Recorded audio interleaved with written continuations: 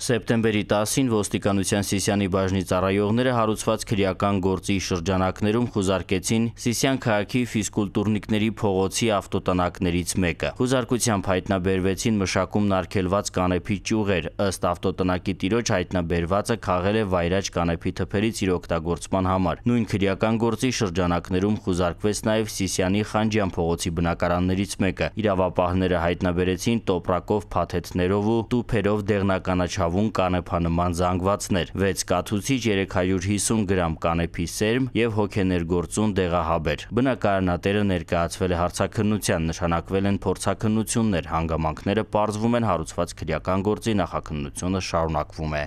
Ծանուցում ենթադրյալ հանցանքի մեջ կասկածվողը կամ մեղադրվողը համարվում է անմեղ, քանի դեռ նրա մեղավորությունն ապացուցված չէ Հայաստանի Հանրապետության քրեական դատավարության օրենսգրքով սահմանված կարգով՝ դատարանի օրինական ուժի մեջ մտած դատավճռով։